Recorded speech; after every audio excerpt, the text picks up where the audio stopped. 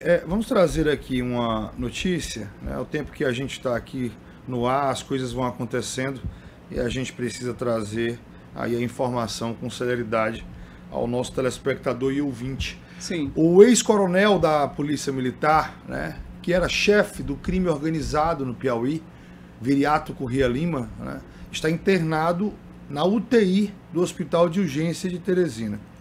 Ele, ele estava com... em prisão domiciliar, Renato? Não, na verdade, aqui né, a informação que tem é que ele está preso desde 99, né? E a, a, havia naquela época um pedido, né? Para a prisão domiciliar dele. Mas ele foi condenado a 129 anos de prisão. Nossa. E, te, e tem muitos processos que ele nem, nem foi julgado. Ainda tem a chão, né? Pra... Ainda tem a chão. E se Ser tem condenado. alguém que as pessoas querem manter na cadeia, é ele. Vamos para matemática aí, ó. 24 anos. Ele tem 71 e 24 anos de reclusão, né? Porque é que o direito funciona para esse coronel e não funciona para os outros bandidos, né? Pois Quer é. dizer, ex-coronel, né? Porque ele nem, nem merece ser chamado de coronel, né?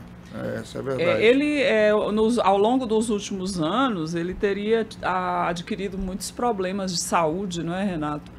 E, e, vez por outra a gente ouvia as informações de que é, ele tinha um atendimento ou no próprio sistema penitenciário ou se deslocava para um hospital para receber atendimento. Essa aí seria supostamente uma foto dele numa maca lá no hospital é que ele estaria assim um pouco debilitado, né, por conta das doenças adquiridas, problemas cardíacos, hipertensão, diabetes, que são próprios da idade, mas por ele estar é, num local, né, que não é, é, muito é inóspito, né, a questão da, da cadeia, aí é, o problema de saúde fica mais sério, né? E olha que se louco. agrava mais. Olha que coisa maluca, né? A semana passada nós noticiamos a prisão do Pezão, né? Ele que foi o assassino do Donizete Adalto, né? Quem fez os disparos. Agora, infelizmente, no final de semana, nós tivemos o triste fato da morte do delegado Menando Pedro. Vamos ele, falar sobre isso. É ele que foi um dos principais combatentes do crime organizado, junto com o delegado Bareta, com o delegado Robert Rios, né?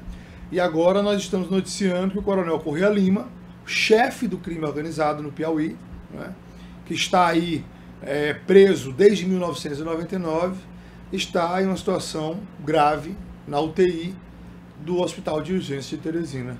A, a, informação que se tem, Renato, é que em 2020 ele teria passado para o sistema semiaberto. É, tem né? uma progressão de pena. Isso, é. após ter cumprido 21 anos, 7 meses e 10 dias no total das penas. Mas como você citou, para 129 anos ainda tem um par de anos, né? para ele cumprir. Renato, eu queria